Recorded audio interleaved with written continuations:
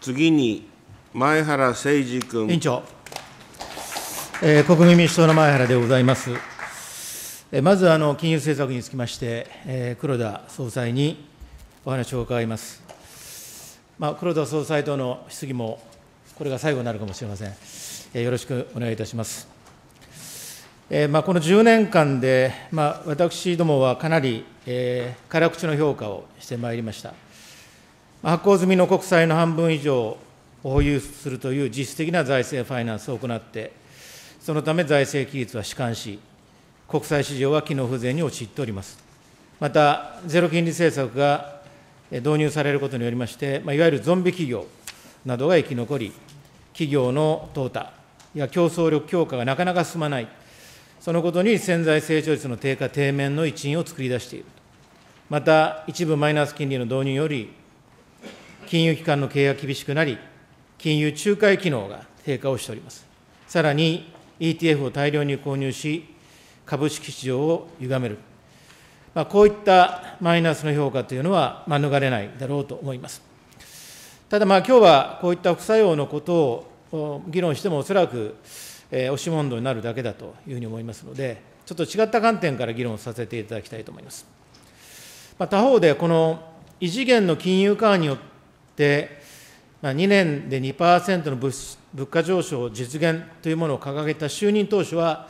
大いなる期待を持って迎えられたのも事実でありました。私も期待をしたものの一人であります。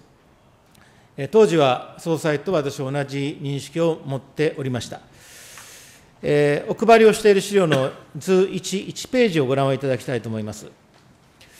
これはあの民主党政権の最後、野田政権の時に私は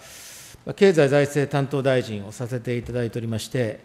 えーこの共同声明というものを、えーまとめさせていただきました。まあ、正直申し上げて、白川総裁は本当に嫌がっておりました。あのこの共同声明を結ぶことに対して、えー非常にネガティブでありました。で、このポイントはですね、ここの1ページの3のところでありまして、政府は日本日本銀行に対して、上記2の方針に従って、デフレ脱却が確実となるまで、強力な金融緩和を継続することを強く期待すると、まあ、この文言をまあ入れたわけであります。でなぜこういう文言を入れたかと言いますとですね、えーこのまあリーマンショックがありまして、でそれまでかなり日銀のバランスシートっていうのは、まあ、あの大きくなっていたんですね、他の中央銀行よりは。しかし、その後の変化率というものが、え他の中央銀行はより、え量的緩和を進めて、バランスシートが広がっていった。それに対して日本銀日本銀行はですね、えーまあ、変わらずに、そのいわゆる金融政策の差によってですね、まあ、一時期76円まで1ドルが円高になるということになりまして、まあ、私も全国、その前は政調会長をさせていただいておりましたけれども、まあ、輸出業者を中心に悲鳴が上がっておりました。えーなんとかしてほしいと、まあ、こういった悲鳴が上がっておりました。まあ、そういう意味においては、同じ問題意識を持って、とにかく、えー他の中央銀行が金融緩和をしているのに、やらないということについて、この異常な円高を生んでしまっていると、まあ、こういったことからですね、まあ、しっかりとやはり金融緩和すべきだということで、えー繰り返しになりますけれども、嫌がる白川総裁を野田総理に説得してもらってですね、そしてこの共同声明を結んだというのが、えこの1ページであります。で、2枚目をご覧いただきたいわけでありますが、まあ、これは第二次安倍政権で、えーまま結ばれた政府日本銀行の共同声明えでありあります。で、えーまあ、同じようにですね、日本銀行に対して、えーまあ、金融緩和を求めるということで、まあ、それは黒田総裁は就任当初から、あまあ、安倍総理の持っておられた問題意識に雇用される形で、2年で2%の物価上昇を実現するという強い意志のもとで、えー総裁に取り組まれて、そして、えーまあ、金融緩和を強力に進まれ進まれたということであります。そこであの黒田総裁にあのお伺いをしたいと思います。でこの共同声明というのは、政府と日本銀行がお互いに責任を負うべきものなんですね。お互いに責任を負うべきものだから共同声明なわけです。一方的な声明じゃないんですね。共同声明なんですね。で、この図3をご覧いただきたい、あの2ページの、えー、と3ですね。で、これは政府が果たすべき役割が書かれているんですけれども、政府は我が国経済の再生のため、機動的なマクロ経済政策運営に努めるとともに、日本経済再生本部の下、革新的研究開発の集中投資、イノベーション基盤の強化、大胆な規制、制度改革、税制の活用など、思い切った政策を総動員し、経済構造の変革を図るなど、日本経済の競争と成長力の強化に向けた取り組みを具体化し、これを強力に推進すると、これが政府に課された責任であったわけであります。まあ、10年経ちました。そして、えーまあ、先ほど申し上げた副作用の問題がありありますけれども、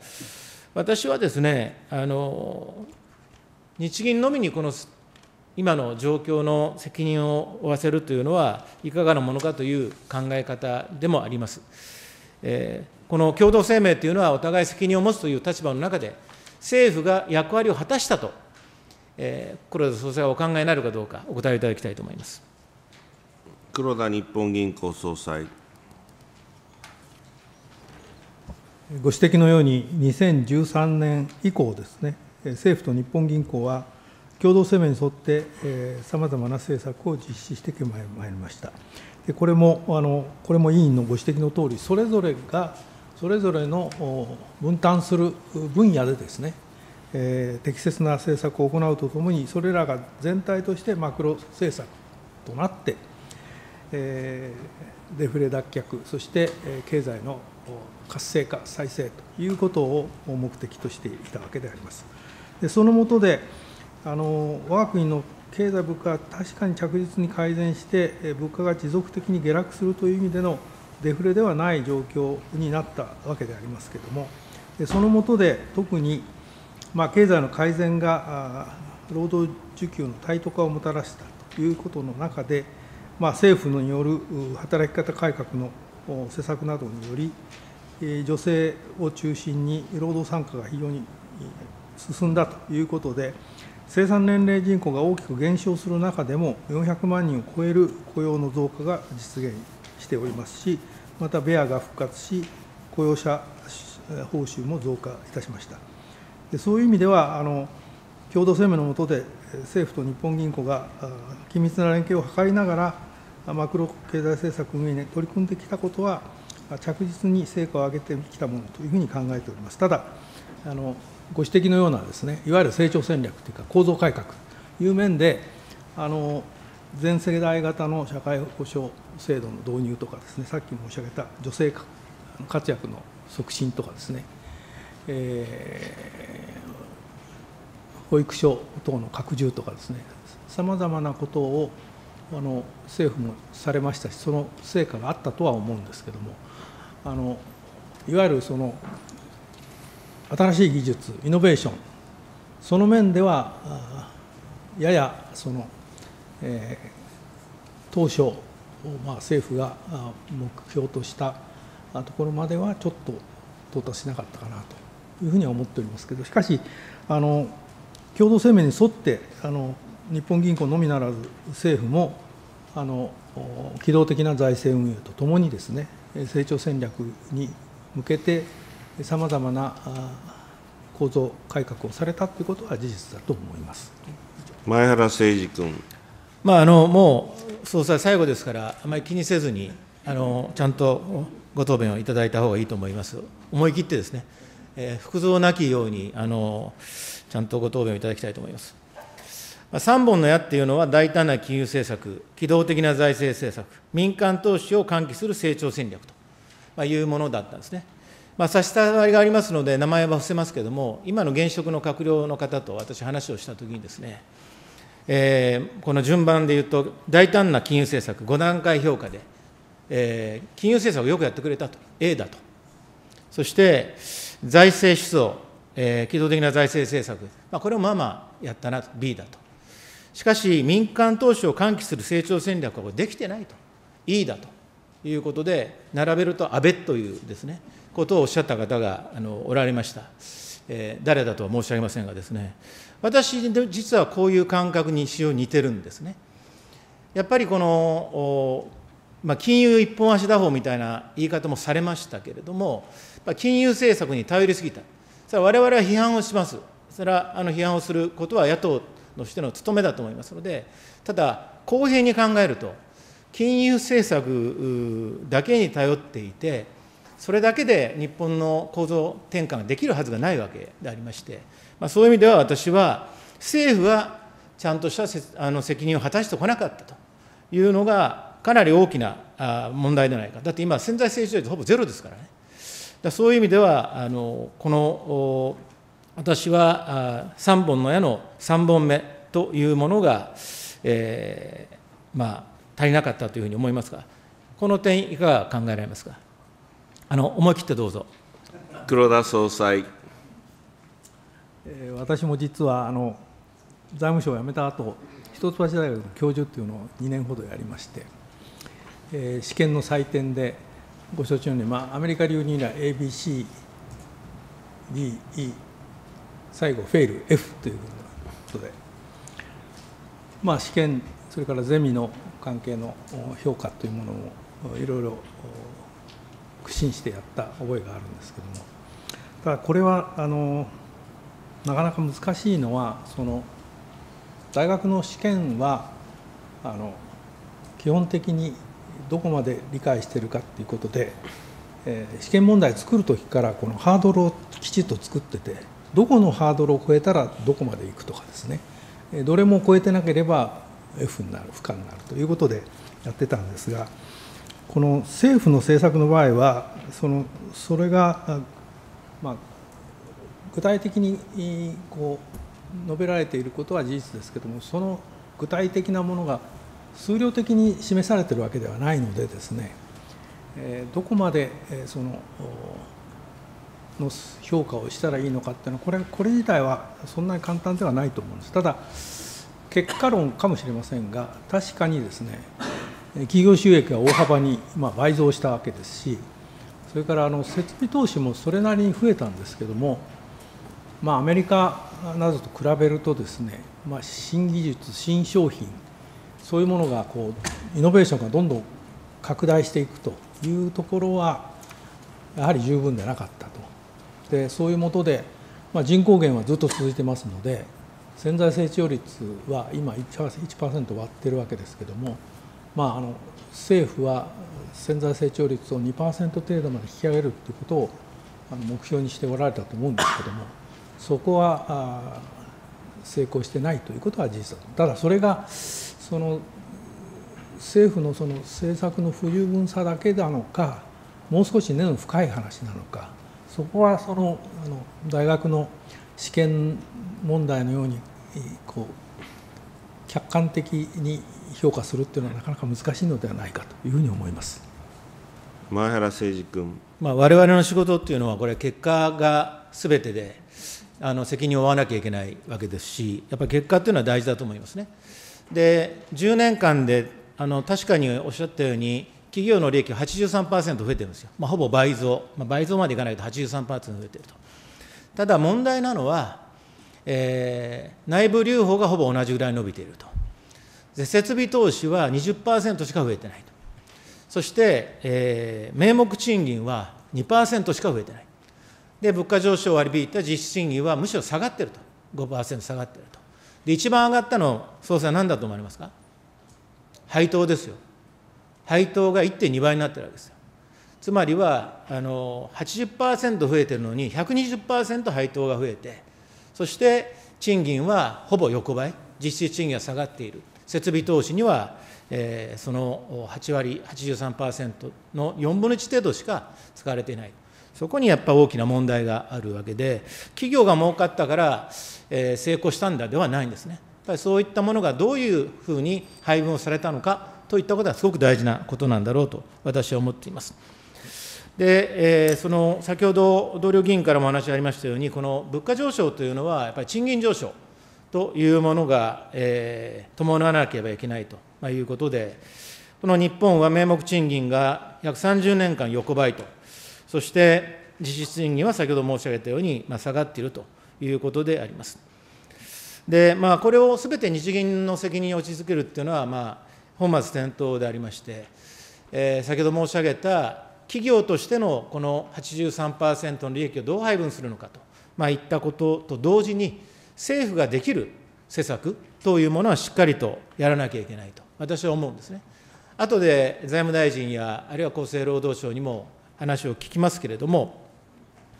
私はですね、3つのことがまずできるんじゃないかと、やらなきゃいけないことがあるというふうに思ってまして、1つは人への投資、まあ、これはこの頃リカレント、リカレント教育とか、リスキリングとか、まあ、昔で言うと職業訓練とか、まあ、こういったものについて、全世代型の教育、人材投資をしっかりやる、人材育成をしっかりやるということが1つと、それから後で取り上げますけど、年収の壁、これはこの20年ぐらいで、30年ぐらいでですね、えー、パートやアルバイトの賃金は約30%上がってるんですよ。しかし、この年収の壁があるために、えー、トータルのいわゆる年収は変わってなくて、働く時間が大幅に減ってるんですね。これだけ労働力が不足をしている中で、えーまあ、言ってみれば賃金を、パートやアルバイトの賃金を上げても、年収の壁で働く時間が制約されると。これは解消しなきゃいけない。これ2つ目。それから最低賃金ですよ。最低賃金というものは持続的に上げていかなきゃいけないと。日本は最低賃金でも世界でも低いレベルでありますし、今、最低賃金だったらまともに働いても生活できないですよ。まあ、これが今の日本の現状ですよね。やっぱ政府としてはやっぱこういうことをしっかりやっていかなければいけないというふうに思いますけれども、これについての総裁のお考えをお聞かせいただきたいと思います黒田総裁。この点につきましては、あの委員の意見に全く賛成です。えーまあ、人への投資という場合は、リスキリングとかあ、そういうこともありますけれども、私自身は一番重要なのは、やはり大学の研究教育をいかに強化していくかということ、これが非常にあの先端技術にとっても極めて重要だと思います。あの統計、OECD のデータを見ますと、企業のあの技術革新投資っていうのはあの OECD 諸国並みなんですけども大学の研究教育投資の額がやはり OECD の中でも低い方なんですねですからさまざまなことがあり得ると思うんですけど人への投資が非常に重要であるということはおっしゃる通りだと思いますそれから年収の壁もまあいろいろな考え方あると思いますけども私も何らかの措置を取ってですね、こういったあの、まあ、ある意味で人為的な壁ですので、それをなんとかその緩和するような措置を取るということは非常に重要だと思います。3つ目の最低賃金は、これも非常に重要で、あのもちろんあの中小企業のその賃金支払い能力ということも十分考えないといけないんですけども、えー、他方でその最低賃金を上げることによって実はその最低賃金の上の層の賃金も上がるんですね。だからこれはその最低賃金の適用を受ける層だけでなくてその上の層も含めて賃金が上がるんでこれはあの極めて重要なあの政策政府の政策だと思います。ただこれはあのあくまでもその中小企業を含めたその支払い能力ということも十分考えながらやっていくということだと思います。ただあの3つの点についてあの私も全く賛成です。前原誠司君。まあ、今、なぜこういう質問を日銀総裁にさせていただいたかというとですね、上田新総裁は、まあ、私も議運で質疑をさせていただきましたけれども、政府と日銀の共同声明、見直す必要はないと今、言われてるんですよ。で、中身についてはそうかもしれない。ただ、今日まさにあの黒田総裁と議論させていただいたのは、日銀と政府で共同声明をまとめれば、その中身をしっかりとお互いが実行する責務を負うんだといったところが大事だと思うんですね。つまりは、その字面があの今、取り組むことが変わる、変わらないんじゃなくて、立派なことを書いてあるんだったら、それを実現してくださいよということがすごく大事なことだと思うんです。実効性の問題だと思うんですね。実効性を高めるためには、これ、総裁、もし共同声明見直さなくていいっていう新総裁もおっしゃってますけれども、じゃあ、実効性を高めようと思ったら、10年のご経験としてどうされどうしたらいいと思われますか？黒田総裁。あの上田次期総裁のその個別の発言についてコメントすることは差し控えたいと思いますけれども、あの現在の共同声明が2013年以降ですね、政府と日銀がそれぞれの役割を分担して、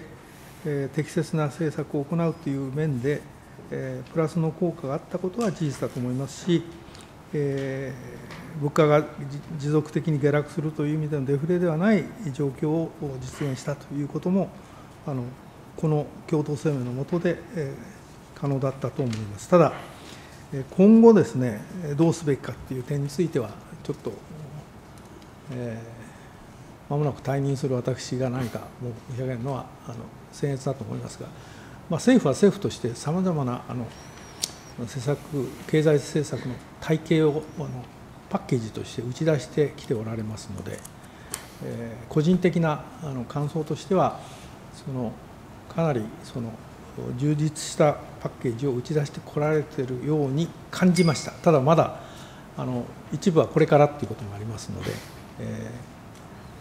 ー、何か私が今の時点で何か申し上げるのはあまり適切ないと思いますがいずれにせよあの共同声明今後どうするっていうのはこれはあくまでもあの政府と新しいあの総裁副総裁などの考え方によるもので私から何か申し上げるのは適切ないと思います前原誠司君。まあ、私はあの共同声明をどうするかどうかということじゃなくて、10年間経験された総裁として、実効性を高めるためにはどうしたらいいかということを伺いたかったんですけれども、まああのえーまあ、ご代任をされるということの中で、ご遠慮されたと、まあ、ぜひ、えー、後任にアドバイスをしていただければというふうに思います。あの総裁はこれで結構でございますので、ありがとうございました。黒田総裁はご退出いただいて結構です。さて、えー、ちょっと残りの時間で、ちょっと順番を変えて、せっかく厚生労働副大臣も来られておりますので、まあ、今の並びの中でお話をさせていただきたいと思います。まあ、実はあの、えー、前々回のこの委員会で、えー、年収の壁の質問をさせていただいて、その時は厚生労働省からは、伊佐副大臣がお越しをいただいたわけでありますけれども、えー、その時にですね、えーまあ、その前からも質問をしていたことなんですけれども、えー、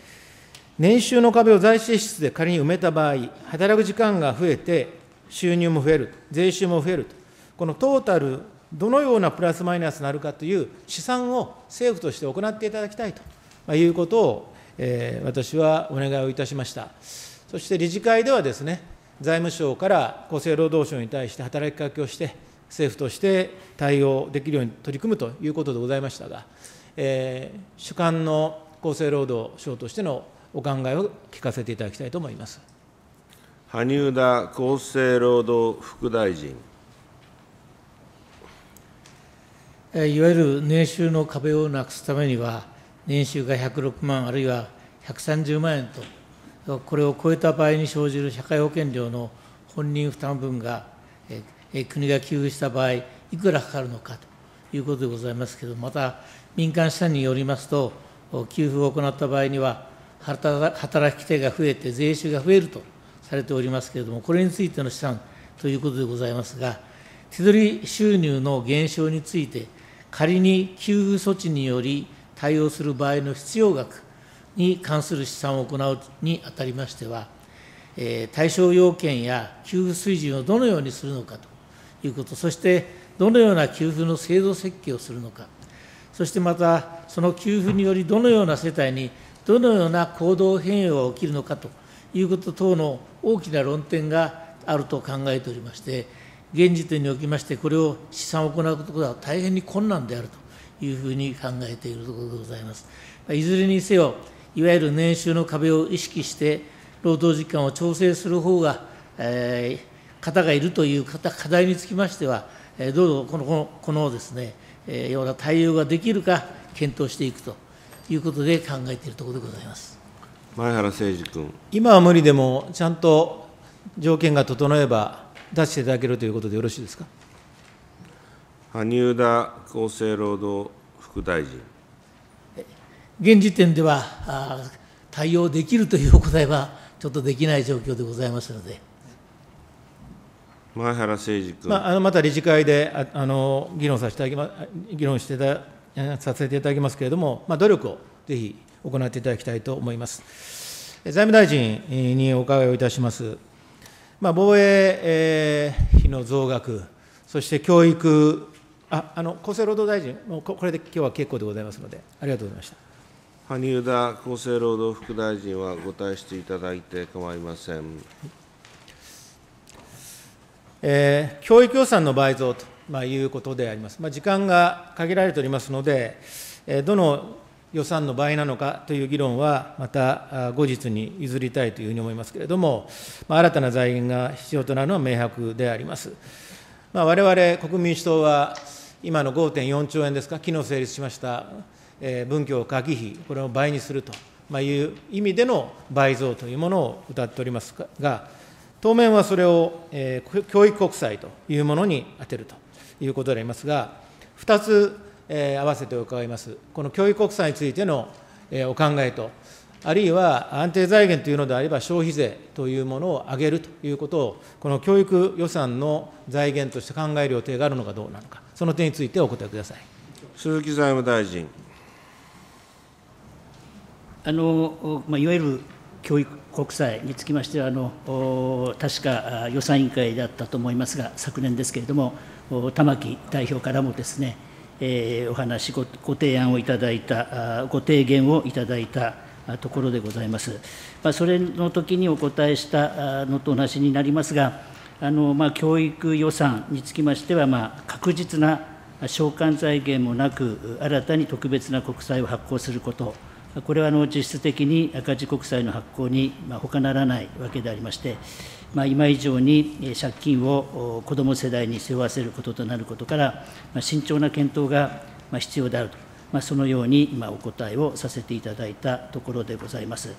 そしてあの、まあ、教育大切でございまして、まあ、教育のその財源、まあ、どういうふうにま考えていくかと、まあ、こういうことでございますけれども、財源につきましては、あのこの財源を、失礼いたしました、え、もしですね、教育予算を大幅に拡充するのであれば、まさに財源どうするかということで、え、ございますが、ま、恒久的な施策には恒久的な、ま、財源が必要であると、ま、そのように考えてございます。まあ、教育予算が重要であること、これはあの私もそのとおりだと思いますが、まあ、人口構成の状況でありますとか、財政状況も踏まえながら、まあ、予算全体の中で必要な額を確保していくことが重要であると、そのように考えております。前原誠司君。まあ、この財務金融委員会でも私、一つの提言を前いたしました、外交為替金特別会計というものの一部を基金化をして、そしてその運用をして、それを財源にの、え、一部に充てればどうかといった提言をさせていただきました。え、3枚目の資料をご覧いただきたいというふうに思います。その際にも私がお示しをしたものでありますけれども、ハーバード大学、イェール大学というものの基金の運用実績でございます。これは過去10年間の運用実績でございますけれども、ハーバード大学はですね、過去50年間、すごいですよ。平均収益率11%ですよ。11%。で、イェール大学は過去30年間で平均収益率はなんと13.6%。もちろん、あのリーマンショックとか上がり下がりはありますけれども、50年間で11%、30年間で13.6%、オルタナティブ投資というものをまあやって、こういったものを行あのこういった収益を上げて、そしてえ教育研究開発に回しているということであります。まあ、前回はこの外為特会を活用して一部基金化をするということについてはネガティブなご答弁でありましたけれども、え、同じことなのか、それとも、え、外国為替資金特別会計でなくてもですね、これ、今、世界の数勢はこういうオルタナティブ投資を含めて、えーいわゆるこの運用でですね、その果実を得て、それをしっかりと財源に充てて、えその国の必要な経費、政策、成長に充てていくと、まあ、いったことをやっているわけでありますが、こういったものをもっと取り入れるというような、やはりこのハーバード大学、ゲル大学の運用実績を見られて、これをこういう基金運用をしてですね、そして財源に充てるというお考えはないですか？鈴木財務大臣。あのまずあの、外為特会について申し上げますと、まあ、この運用資産、これはあの市場の急激な変動の際に機動的な介入を行うためのま資金でございますので、まあ、流動性、それから安全性に最大限留意して運用する、これが基本であると、まあ、そういうふうに思っております。で、ハーバード大学やイェール大学の基金、これはあの基金、寄付金等を原資として、大学の教育研究をサポートするため、まあ、長期的に高い収益を生み出すことを目的としているものと理解しております。このため、運用対象のうち、預金、債券の割合が1割程度にとどまる一方で、非上場株式やヘッジファンドなど、流動性が低く、リスクがある資産にも積極的に投資しているものと承知をしております。これに対しまして、外為特会が運用する外貨資産は、政府短期証券を通じた借借入を、借り入れを原資として、市場の急激な変動の際に機動的な為替介入を行うための資金でえございまして、え大学の教育、研究を支えるための資金と異なりまして、為替介入等のタイミングでありますとか、規模を事前に見通すことが困難であることから、まあ、流動性および安全性を最大限に留意した運用を行っているところでございます。あのこのため、我が国の外貨準備の規模が為替市場の取引高等に照らして、課題とは申し上げにくい状況の中で、まあ、一部であっても、流動性の確保に支障をきたすような運用を行うことについては、えー慎重な検討が必要だと考えているところでございます。小原誠二君。はい、もうあの時間が来ましたので終わりますけれども、私が申し上げたのは、外為特会でなくても、オルタナティブ投資などによって、えーこういった高い運用益というものを日本も取り入れませんかということを申し上げているわけですね。ですから、その長期にわたってとおっしゃいましたけれども、年平均で11%とか13.4%を生み出しているわけですよ、そのお金を。こういったことをやっぱり財源論の中でしっかり議論するということが、私は財務省の一つの役割だということを申し上げて、私の質問を終わります。ありがとうございます